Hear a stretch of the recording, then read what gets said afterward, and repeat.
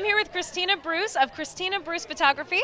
You are winner tonight for Best Children's Photography. Congratulations. Thank you so much. So tell me about your business. Um, I specialize in families and newborns, and I do uh, photography across Bucks County. All right, so we have to talk about a newborn photography. I see those BuzzFeed articles with all the accidents that happen with newborns. Is that a thing? Does that really happen? All the time. Really, all the time. Uh, sometimes you get the trifecta. What's the trifecta?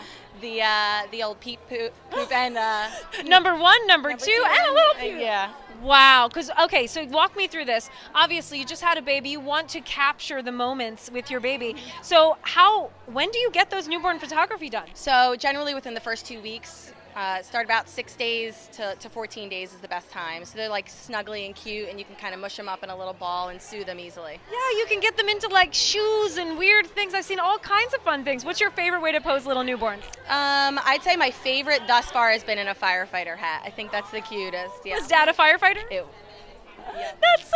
Cute. Oh my gosh, amazing. Well, congratulations on your win. You're here at the Bucks Happening Bash for the first time. What do you think so far? It's beautiful. Everything looks wonderful. They did a great job. Amazing. Well, go ahead inside, meet the other fellow business owners here in Bucks County. You look amazing. Have a great night. Thanks so much. Same to you.